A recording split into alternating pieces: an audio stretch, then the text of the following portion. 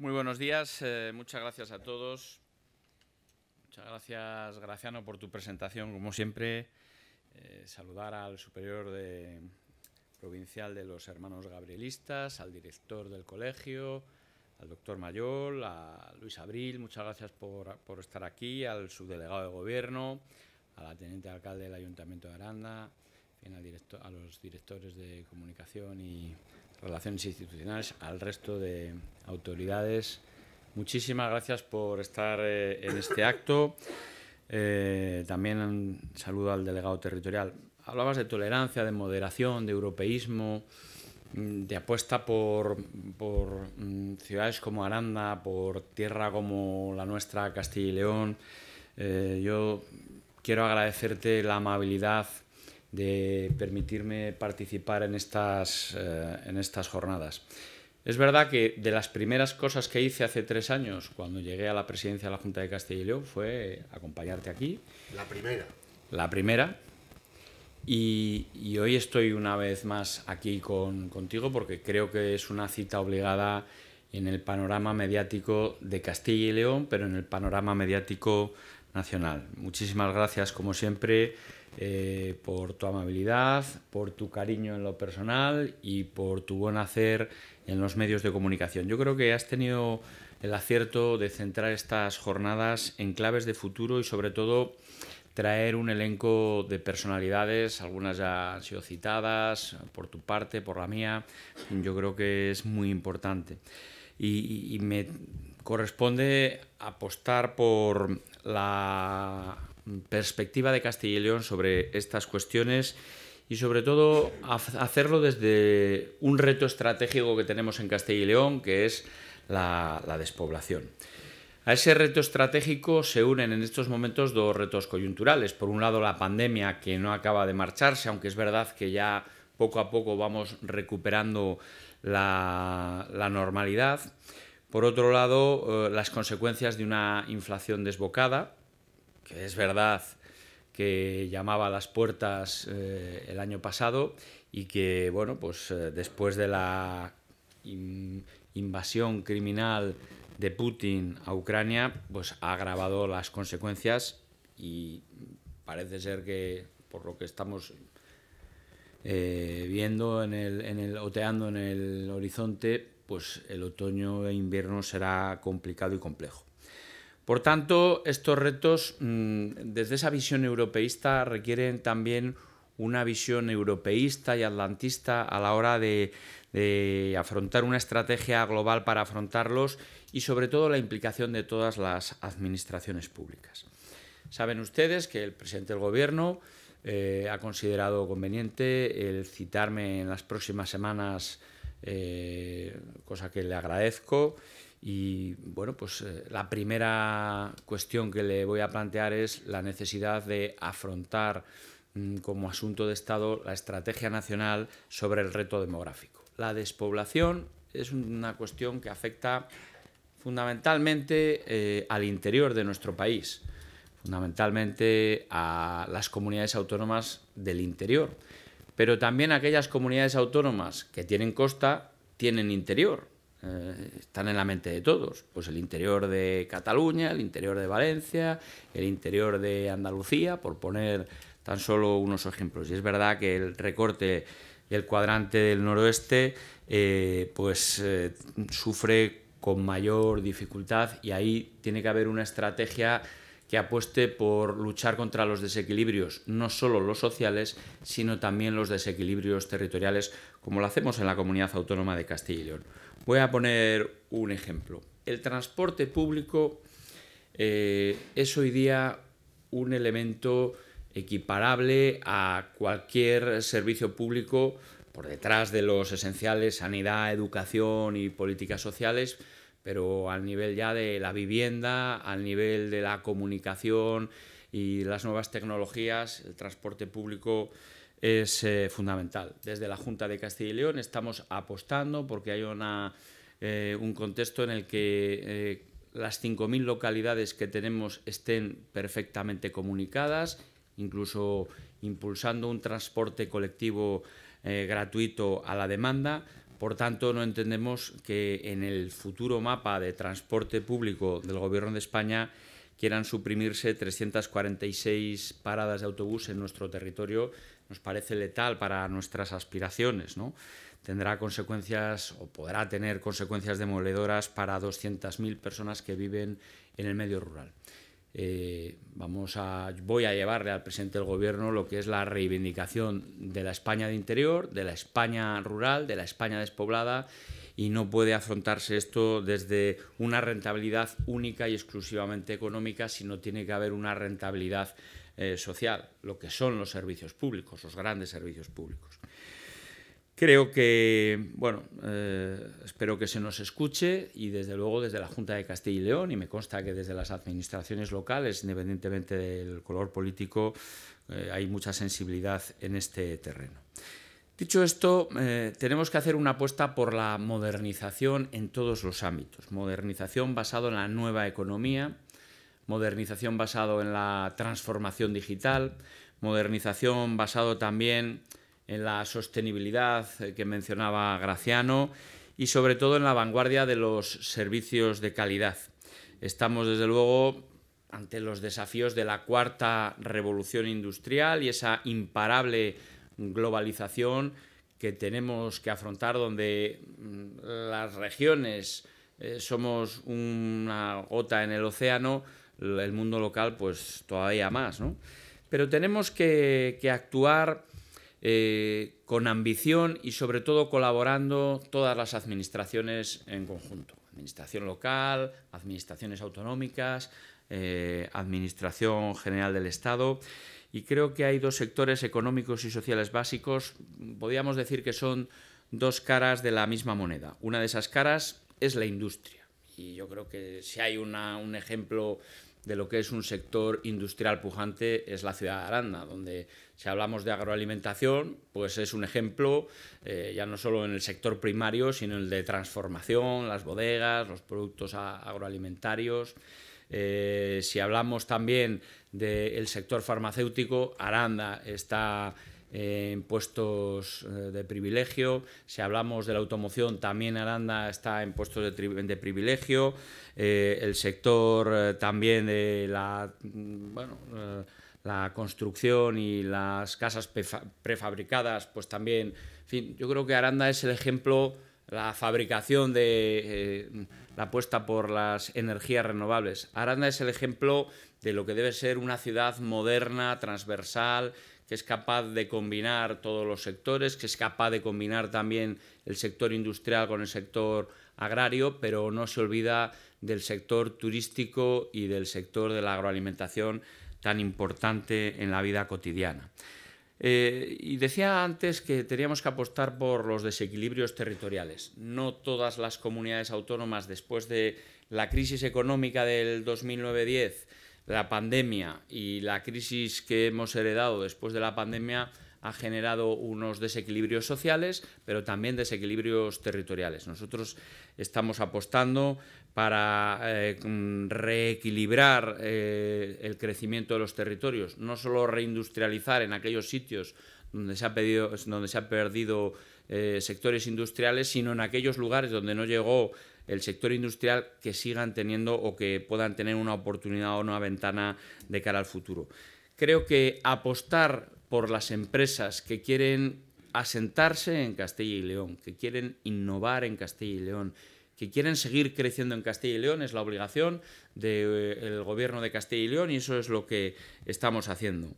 Tener ayudas directas, eh, facilitar financiación, facilitar suelo industrial y también eh, apostar por la internacionalización. Queremos incrementar en un 20% las empresas que eh, exporten en nuestra comunidad autónoma. Más países y más sectores exportando para poder eh, equilibrar la situación económica complicada en nuestro país. La otra cara de la moneda es nuestra apuesta por el medio rural y por su desarrollo. Queremos, mm, yo creo que la gente se ha dado cuenta con la pandemia que en el medio rural se vive igual o mejor que en el medio urbano. Eh, es un entorno atractivo donde hay una calidad de vida y, desde luego hay fuentes alternativas económicas reales. Tenemos que hacer un esfuerzo por hablar bien de nuestra tierra, de nuestro país, de España, de Castilla y León, pero también de, por supuesto, hablaba de, la ciudad de Aranda de Duero, pero tenemos que hablar bien de, de nuestro medio rural, donde existe unos servicios sanitarios, educativos y sociales de primer orden. Los indicadores independientes Dicen que Castilla y León está en la vanguardia, en los puestos de privilegio en estos sectores y me parece fundamental. Por eso creo que es importante que haya una ley que apueste por el desarrollo y la competitividad rural, que garantice la asistencia sanitaria en el medio rural, que garantice también la educación y los servicios sociales eh, en este ámbito. Creo que, bueno, pues eh, eso es algo eh, en lo que estamos haciendo hincapié. Y de cara a, estas eh, dos reflexiones, digitalización y sostenibilidad, sostenibilidad y digitalización en busca del futuro, tenemos que decir que desde Castilla y León somos una comunidad ejemplar y pionera. Trabajamos por algo tan necesario como es eh, ser autosuficientes desde el punto de vista energético. en estos momentos somos líderes nacionales de energías renovables que se dice bien y pronto. El 90% de la energía producida en nuestra comunidad es energía renovable frente al 42% de la energía del conjunto de España. Y, no se olviden ustedes que dijimos que la transición energética era demasiado, demasiado rápida eh, y ahora nos acordamos de Garoña y nos, nos acordamos de las centrales térmicas que se cerraron. Pero bueno, en cualquier caso, nuestra apuesta por las energías renovables se van a convertir en una fuente de oportunidades para Castilla y León y también para nuestro medio rural. Voy a dar algún dato. En cuatro años queremos aumentar la potencia eólica en 1.000 megavatios para llegar a 7.300. Y en la fotovoltaica, 2.000 megavatios más para llegar a 3.000 megavatios. Vamos a invertir 133 millones de euros en el desarrollo de la biomasa para poder desarrollar 140 kilómetros de nuevas redes de calor que abastecerán a 30.000 viviendas de 350 edificios públicos también y así evitar la emisión de 150.000 toneladas de CO2, apostar por la sostenibilidad. Quiero poner un ejemplo, estamos en Aranda, vamos a trabajar, estamos trabajando para que sea una realidad lo antes posible el Hospital de Aranda, pero sí lo que puedo decir es que estará en la vanguardia de la sostenibilidad ambiental y eficiencia energética, por supuesto también en la vanguardia del ámbito sanitario. Y queremos aprovechar al máximo en este hospital las energías renovables, la solar fotovoltaica, la geotérmica, aerotérmica de alta eficiencia y la conexión a la red de calor de biomasa. Creo que es importante y además también en ese ámbito de la sostenibilidad creemos que es importante mm, eh, que haya cero eh, aguas sin depurar. Queremos invertir en los próximos años 250 millones de euros para que no haya ningún agua sin depurar en nuestra comunidad autónoma. Queremos mejorar también, actualizar la ley de montes para regular los derechos de absorción de CO2 y mejorar los recursos forestales, que es algo muy importante en este ámbito en el que eh, hacía una referencia Graciano a la situación que se está viviendo en el sur de la comunidad, eh, para sanear y asegurar nuestros bosques y eso a la vez permita eh, crear empleo y fijar población en el medio rural. También tengo que decir que es importante eh, la transformación digital. Yo creo que hoy la digitalización ya no es una oportunidad, es una necesidad. Y por eso entendemos que todas las personas de Castilla y León, vivan donde vivan, estén conectadas a las nuevas tecnologías y no solo puedan utilizar eh, o puedan tener acceso a las nuevas tecnologías, sino que las puedan utilizar como instrumento en la vida cotidiana como instrumento en los lugares de trabajo. Eh, estamos hablando del territorio más extenso de, la región más extensa de España y de Europa. eh, y además que concentra el 25% de los ayuntamientos de nuestro país, se dice bien y pronto. Por tanto, eliminar la brecha digital es una, es una meta que nos obliga a todas las administraciones públicas. Y ahí, desde la Junta de Castilla y León, queremos hacer una apuesta clara, eh, queremos trabajar para que el 100% de nuestra población tenga banda ancha móvil de 30 megas en el 2023, el año que viene, y 100 megas en el 2025, dentro de tres años. También queremos llevar la alta velocidad a polígonos industriales, a centros logísticos, a zonas de acumulación económica, de actividad económica, porque entendemos que la digitalización hoy, como decía antes, es una necesidad, es algo fundamental. Y, bueno, quiero también mm, contar un pequeño ejemplo. En el ámbito agroalimentario somos referencia nacional en investigación por un lado, en desarrollo, innovación, modernización agraria y ganadera y creemos que el futuro del campo y el futuro de la agroalimentación eh, tiene que seguir apostando por las nuevas tecnologías, por la digitalización en todos los sectores. Decir que, mm, como ejemplo, desde la Junta de Castilla y León, eh, con un servicio público gratuito único en España, facilitamos una aplicación de tecnología propia que les permite tomar decisiones a los agricultores eh, desde su propio teléfono eh, con medidas sobre cuándo o tienen que iniciar, mm, parar o modular el riego, la fertilización, etc. Es una aplicación que, permite demostrar que somos líderes tecnológicos en, España y en Europa de la mano de la información digital y de las tecnologías en el ámbito del campo. Eh, decir que la digitalización va a llegar también a los sectores públicos en el medio rural, mm, no solo en el medio rural, en todo el ámbito, pero también especialmente en el medio rural. Ejemplo, educación. Todos los centros educativos de nuestra comunidad autónoma están conectados a velocidad ultra rápida, todos nuestros centros educativos. Y queremos que los 16.600 aulas que tienen los centros educativos de la comunidad autónoma de Castilla y León estén conectadas a esa conexión ultra rápida. No solo los centros, sino también todas y cada una de las aulas. En agosto va a empezar eh, la inversión y nos vamos a, vamos a gastar, gracias a los fondos europeos, en torno a 30 millones de euros.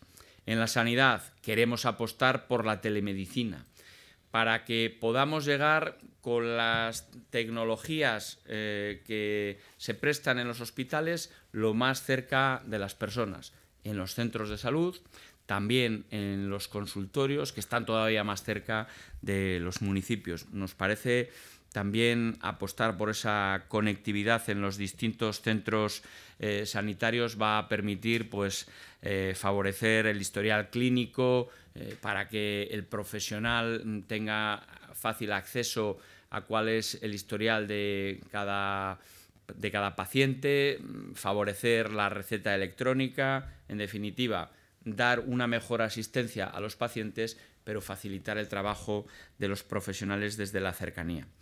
Eh, también, lo decía antes y lo recuerdo ahora, respecto de la movilidad, el transporte, eh, vamos a implantar el bono rural de transporte gratuito a la demanda en las 5.000 localidades de Castilla y León. Son 2.000 rutas y más de 1.200.000 usuarios potenciales para poder llegar y que se puedan desplazar a las cabeceras de comarca donde ya conectar con la red interurbana. Vamos a llegar a todas las localidades, queremos llegar también todos los días, incrementar el número de frecuencias, porque entendemos que eso es lo que facilita, junto con los servicios públicos tradicionales, sanidad, educación, políticas sociales, eh, los de la nueva generación, vivienda, eh, el transporte público nos parece fundamental. Y también decir que la tecnología va a permitir eh, transformar otro servicio público tradicional, los servicios sociales, para que la teleasistencia avanzada, y con esto ya voy concluyendo porque no quiero aburrirles con, con ejemplos, pero la teleasistencia avanzada va a permitir que las personas mayores puedan vivir mm, no más tiempo, pero sí con mayor comodidad donde quieran. Eh, va a permitir que puedan vivir en una residencia o puedan vivir en su domicilio particular, donde ellos consideren convenientes y lo vamos a facilitar también de manera gratuita para que puedan eh, vivir, como digo, con la seguridad, con la protección, con la independencia, eh, haciendo uso de las nuevas tecnologías. Cuando una persona mayor se cae, poder detectarlo de manera inmediata. También estar conectadas con las personas mayores o con las que tienen algún tipo de, elemento que les hacen vulnerables para recordarles eh, la medicación que se tienen que tomar, eh, acercar a los médicos pidiéndole la cita previa eh, a los propios profesionales de la sanidad. Nos parece algo especialmente relevante e importante. Creemos que a lo largo de este año y del que viene esto va a ser una realidad para que todos los residentes de las residencias tengan un seguimiento constante del estado de salud. ¿no? En fin, estamos hablando de, muchísimas eh, cuestiones donde la sostenibilidad y la digitalización eh, tienen que hacer de la vida mm, cotidiana eh, una vida más igual y que no haya mm, que esa brecha que hay entre el mundo urbano y el medio rural se vaya reduciendo de manera considerable. Yo no me extiendo más. Yo agradecerte, querido Graciano, tus palabras, tu esfuerzo por eh, trasladar un foco de independencia, de sabiduría, de buen hacer desde Aranda de Duero, desde tu tierra, desde nuestra tierra que es Castilla y León, que sea un foco que ilumine eh, los pasos que tenemos que seguir dando en el futuro, no solo aquí, en Aranda o o en la provincia de Burgos, sino en toda España.